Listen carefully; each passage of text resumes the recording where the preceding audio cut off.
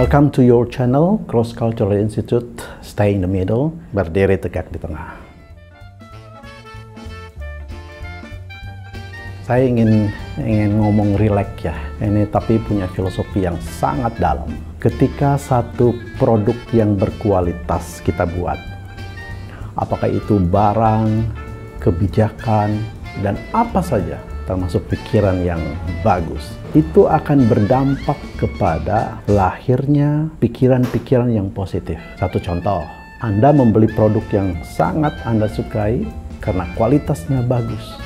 Apa yang terjadi? Semua suka, semua happy, semua mencintainya, semua berfotoria bersama produk itu, bersama barang itu, bersama kebijakan itu, bersama ide-ide yang bagus itu akan melahirkan efek resonansi pikiran yang positif. Jadi luar biasa. Nah inilah yang saya himbaukan kepada para pengambil kebijakan, ya, para produsen.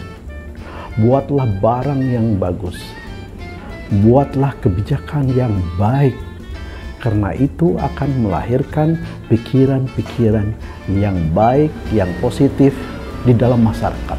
Ketika masyarakat kita mempunyai pikiran yang positif, berbahagia, senang, dan lain sebagainya, maka akan lahir pula produk-produk yang positif.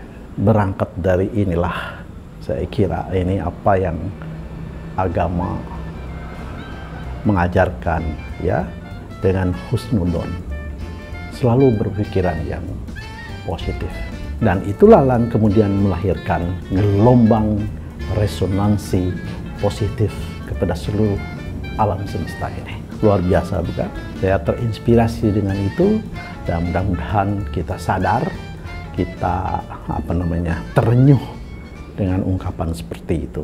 Nah khusus ya sekali lagi berkaitan dengan perpolitikan di Republik ini saya mengajak menjelaskan kepada Anda semua para pengambil keputusan, para pembuat kebijakan. Buatlah kebijakan-kebijakan yang positif, yang bagus, yang berkualitas supaya rakyat bahagia, rakyat bisa berpikir husnudon, rakyat bisa senang, rakyat bisa tersenyum, masyarakat bisa berfoto dengan produk yang bagus, masyarakat bisa berenang dalam gelombang kebijakan yang baik ya supaya kemudian perilaku itu attitude itu masyarakat yang berpikir positif itu memberi resonansi kepada iklim yang positif di negeri ini.